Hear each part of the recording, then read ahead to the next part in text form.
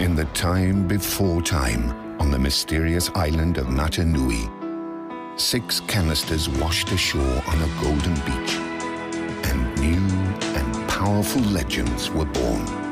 Tahu, courageous toa of fire.